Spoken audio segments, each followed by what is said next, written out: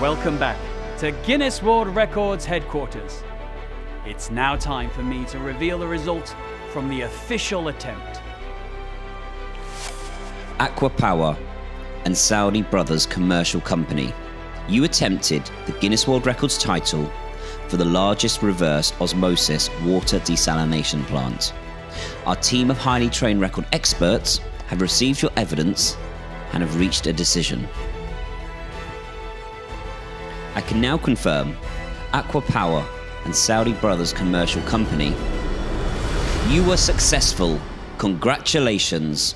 The largest reverse osmosis water desalination plant is Rabigh 3, producing 600,000 cubic meters per day, and was achieved by ACWA Power and Saudi Brothers Commercial Company in Rabigh City, Saudi Arabia, on the 31st of December 2021.